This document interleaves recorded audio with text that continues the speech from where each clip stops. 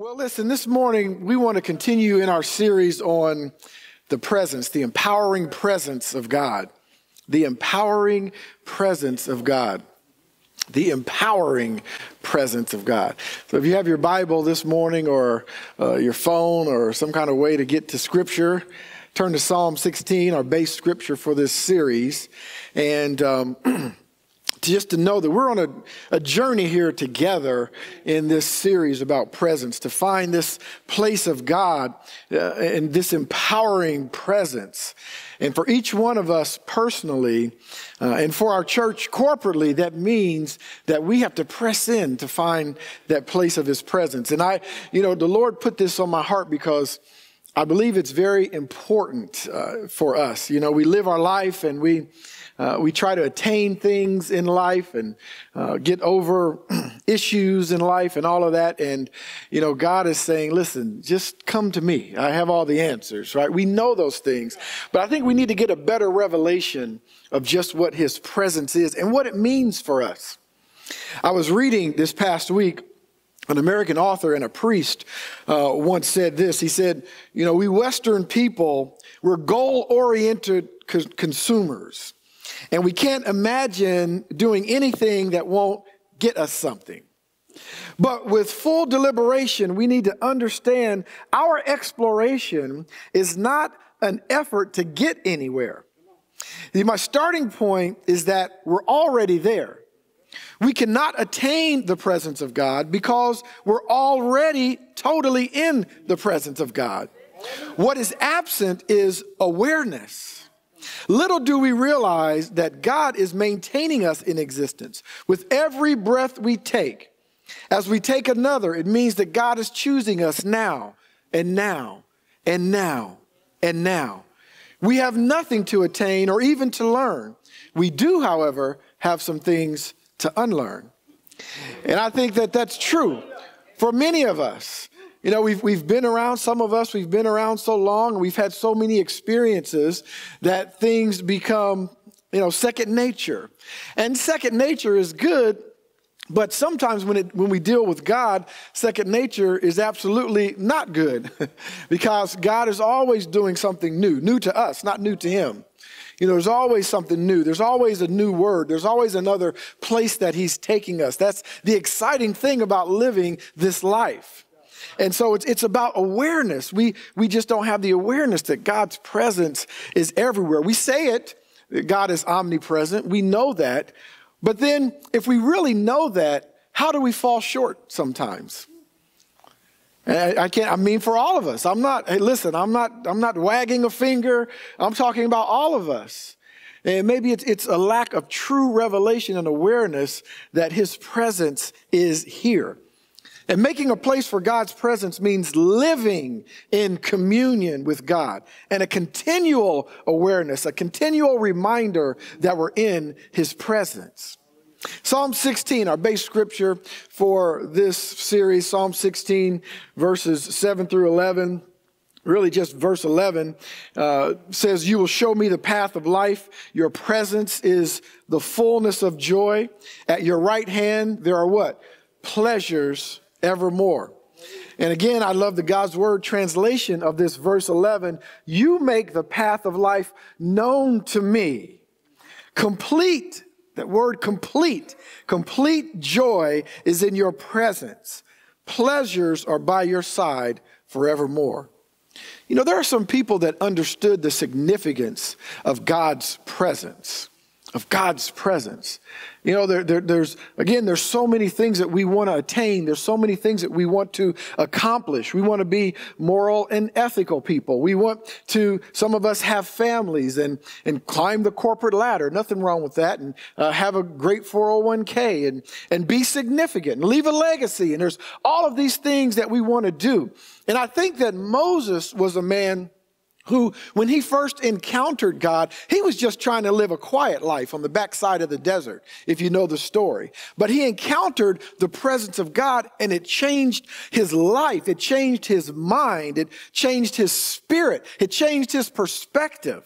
Because we can see later on, Exodus 33 1, watch this. Then the Lord said to Moses, this is years later after he had first encountered God's presence in the burning bush. The Lord said to Moses, Depart and go up from here.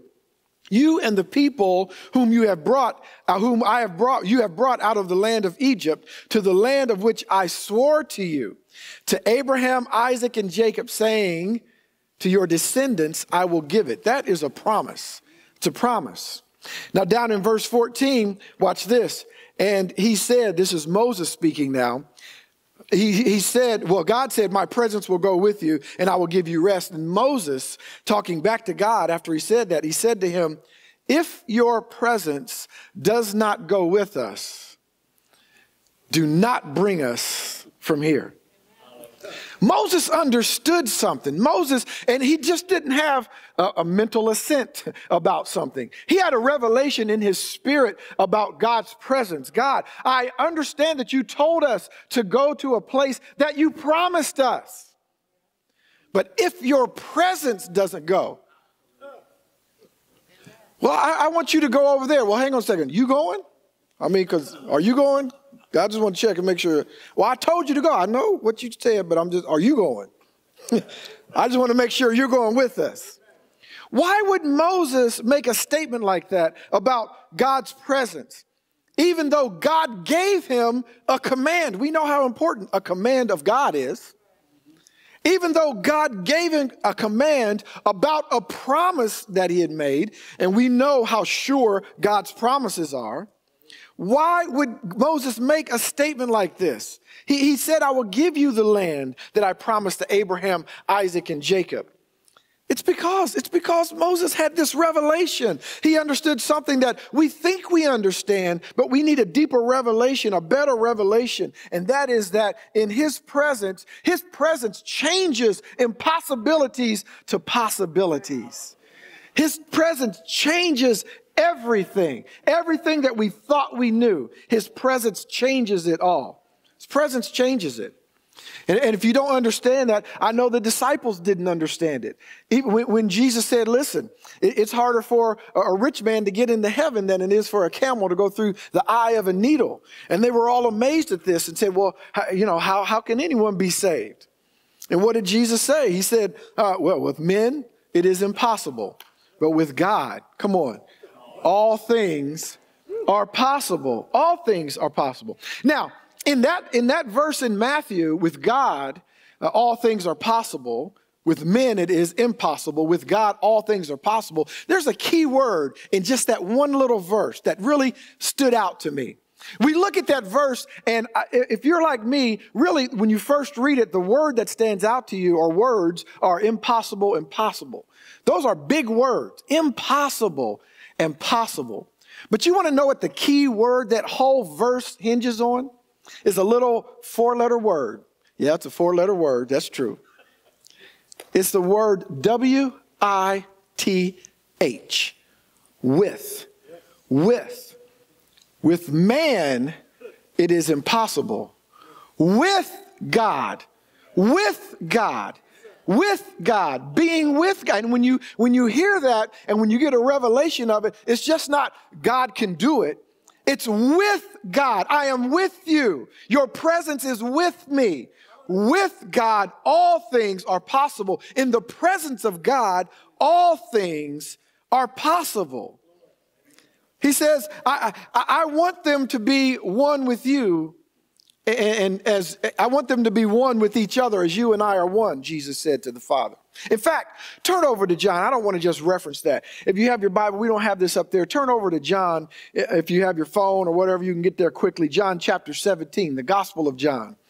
I know we got first, second, third John. Turn over to the Gospel of John, chapter 17.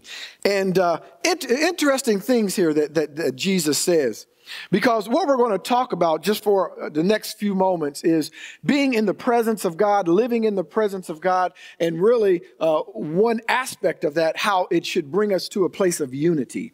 Okay? And I'm going to remind you of that. Last year we did a series on presence and we talked about unity. But in Second Peter, uh, Peter told the saints, he said, Let me remind you of these things. All right? And so if Peter can remind the saints of these things, I would think Michael could also remind you of these things because God reminds me all the time of things that I think I already know. All right? So I want to remind you of some things. We're going to talk about how his presence ought to bring us unity. All right? Look in John 17, verse 20. Jesus said, I do not pray for these alone, but also for those who will believe in me through their word. He's talking about his disciples. That they all may be one, as you, Father, are in me, and I in you, that they also may be one in us, that the world may believe you sent me, and the glory, verse 22, which you gave me, I have given them that I may, that they may be one, just as we are one. Now, go back up a little bit there in your Bible to verse 9, because something stood out to me. Something really stood out to me about this whole prayer, this whole chapter uh, of chapter 17. He, he, Jesus said this, earlier in his prayer. He said, I pray for them. I do not pray for the world, but for those whom you have given me, for they are yours. Do you get the impact of what he said there before all of this? He said, I pray for them. I do not pray for the world. Not in this instance. I do not pray for the world. Now, what does that mean?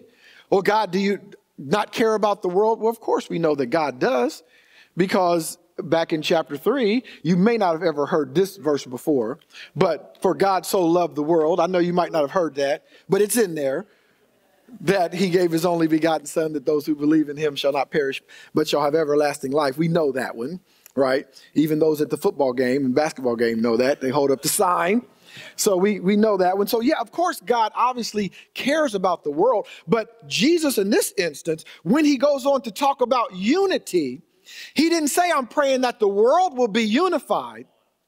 He said, I don't pray for the world. I'm praying for my disciples. I'm praying for those who are seeking me because the only way the world is going to be unified is if my church is unified. The only way the world is going to live in unity is if my disciples live in unity. And the only way my disciples are going to live in unity is if they press in to my presence. They press into my presence. And I think one of the hindrances for us living in unity is not just the revelation about God's presence, but one of the hindrances, we really, some of us don't understand truly what unity is. I mean, unity, unity is not everyone looking the same, not even everyone thinking the same. Unity is simply this it's multiple distinctive parts with a oneness of purpose.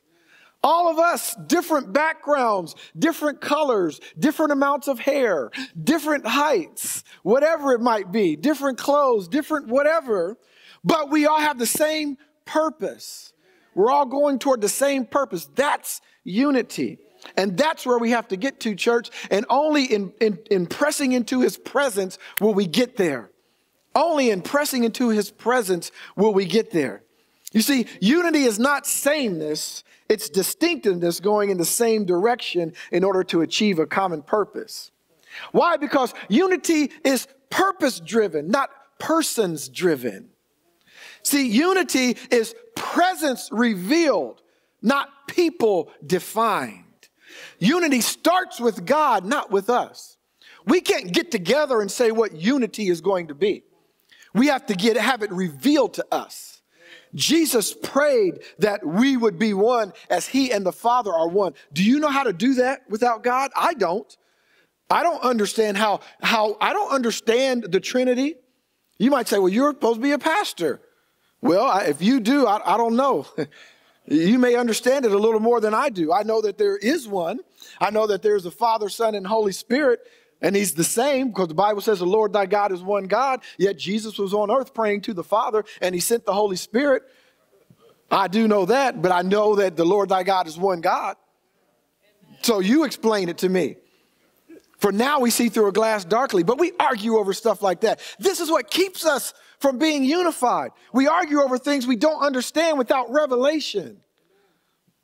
We, we can't really fully understand it until God reveal it to us. And maybe not until we're in his presence. And then he says, this is how that works. And we go, oh, I would have never thought of that. And he's like, yeah, so why you spend so many years arguing about it and making denominations over it? Don't let me get into that. Come on. And apart from sin, differences are absolutely critical, unquestionably essential, and eternally determined. God made us different. So we can't shun differences. He made us different. So when you try to change people apart from sin, you're trying to be God in their life. But what we need to do is pray, God, show me the purpose that we can we can have the same purpose because God will do the rest of it. God will change hearts. God will line us up. God will do that if our heart truly is for him. What do I always say? What does God want from us? He wants our heart. If he has our heart, he'll have our obedience. So you obey somebody when, when you catch the vision, when, when, when, when they have your heart. Obedience is not a problem. You know, there are people that will obey somebody or stick with somebody to the very end. And it's not even because what they're saying is right, but it's because they're connected, because they, they have their heart. How much more God if we have his heart and he has our heart? You know, when you, when you see an orchestra before they perform, and I have uh, many times, it's a mess. It's a mess. And I'm not just talking about middle school orchestra. I'm talking about when you go to the symphony orchestra. If you get there early enough and they're tuning up and they're, you know, each one has their own, you know, uh, one's tuning to this middle C and one's, you know, a B and it's, it sounds like a mess and all this. You say, what in the world is going on here? What kind of a concert am I coming to? They're in discord. But when the conductor comes out,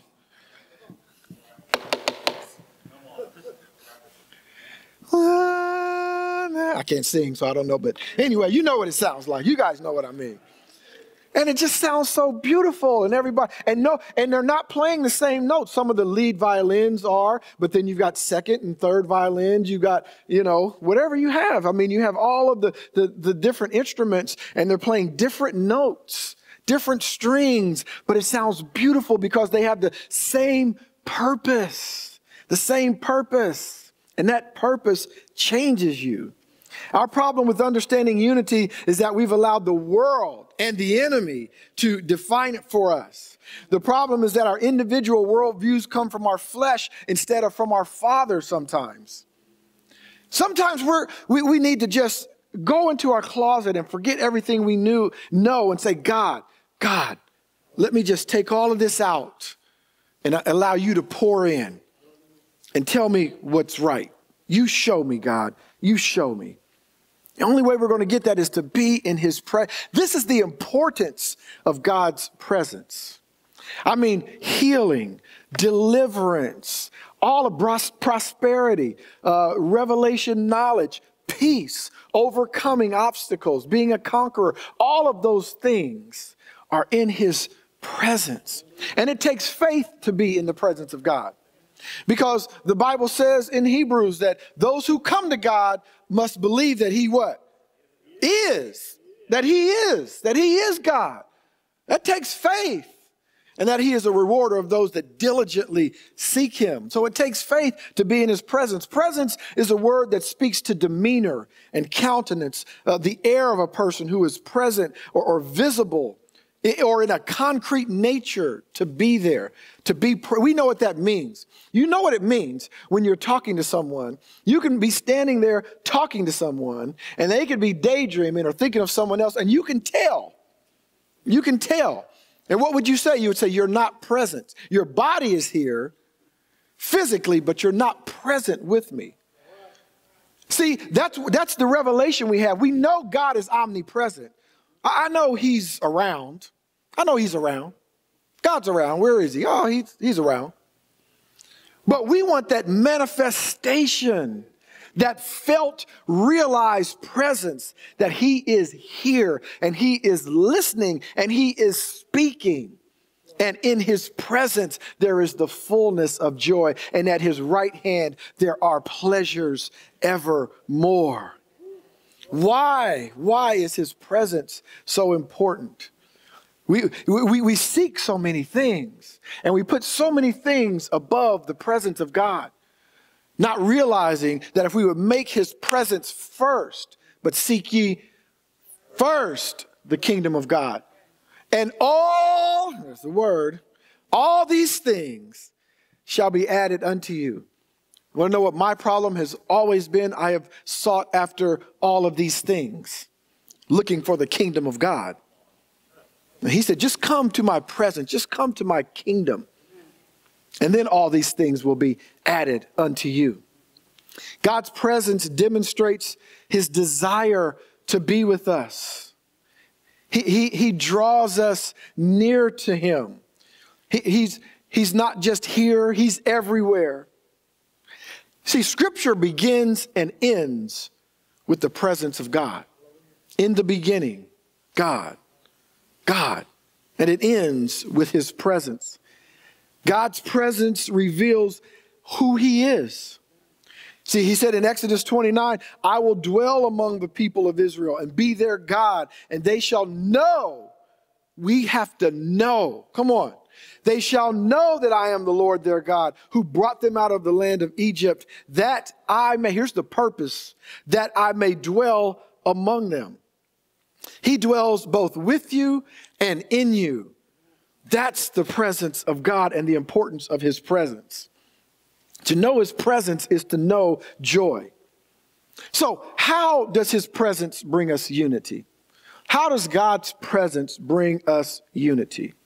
First of all, his presence gives us a singular focus. Because I, I don't, it, it, doesn't matter, you know, when you come into the presence of God, what your opinion was, or even, uh, and I don't want to say that it doesn't matter, that, that's probably the wrong way to express it, but it's not as important what your experiences were, your environment was, how you grew up, your ethnicity, your gender, all of those things. When you come into the presence of God, now He gives you a singular focus. Okay, he has a purpose and he helps us to focus. That that's what we're focusing on. It doesn't matter about us.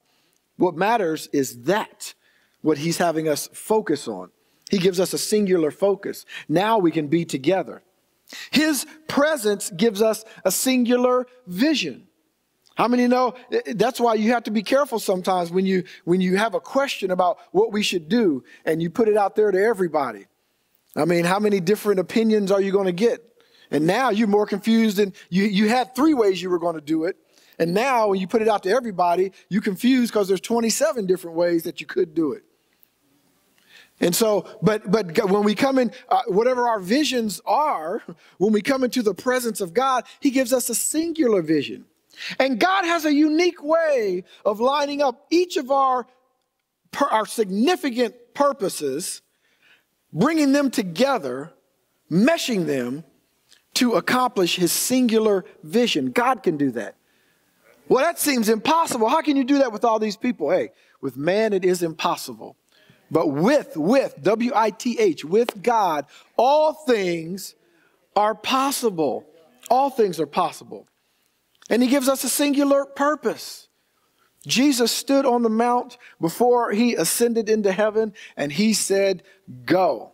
I'm, I'm going to give you a purpose. All of the purposes that you have are going to submit to this one purpose. Go, go into all the world, teaching them, making disciples, teaching them, and baptizing them in the name, in the name, in the name of the Father and the Son and the Holy Spirit. Go, make disciples. All that we do comes under that singular purpose. This is how he brings us into unity.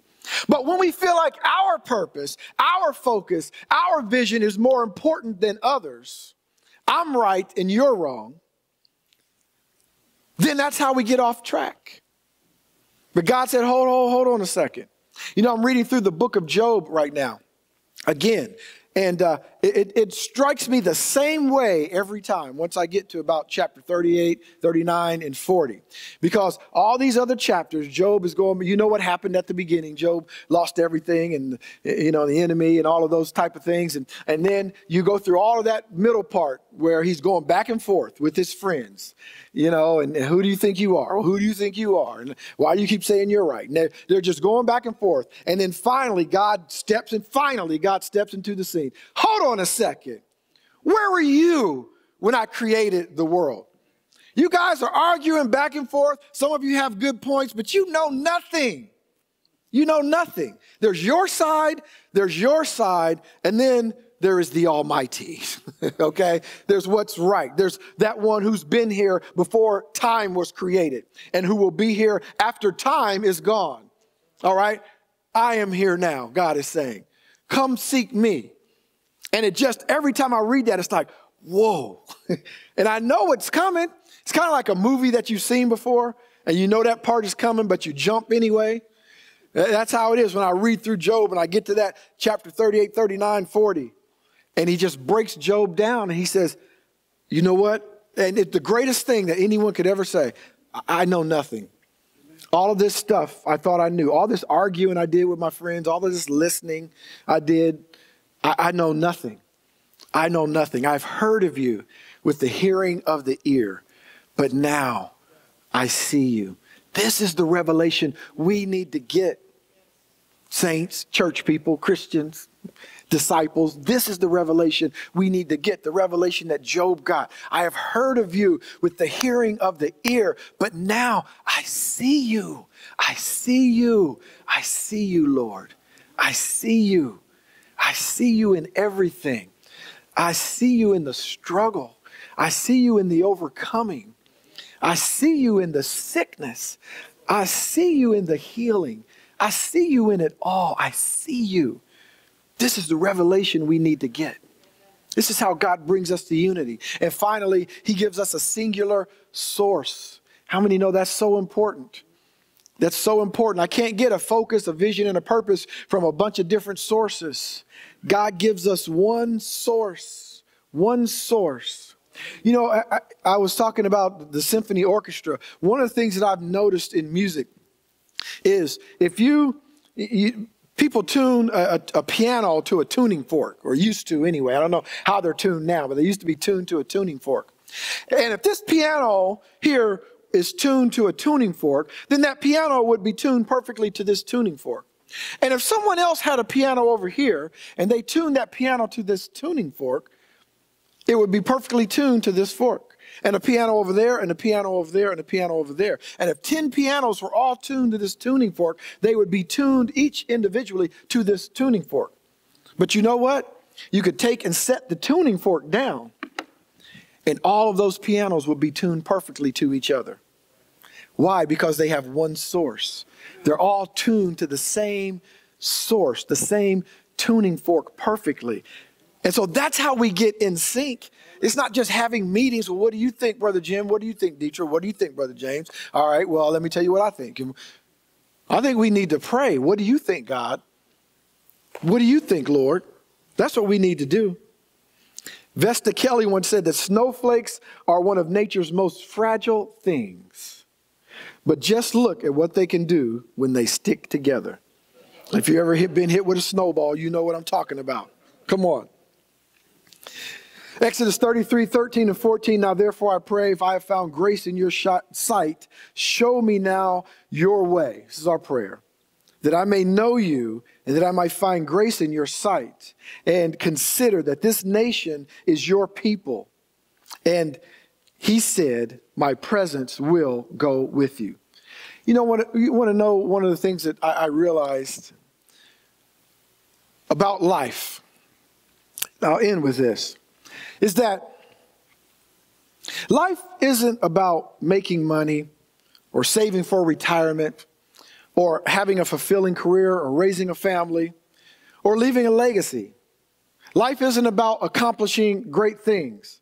It isn't about overcoming insurmountable obstacles. Life isn't about living, loving, and laughing or eating, praying, and loving. It isn't about reading books or having a great education. What I realize is that our primary reason for existence is relationship. Our relationship with God and our relationship with each other.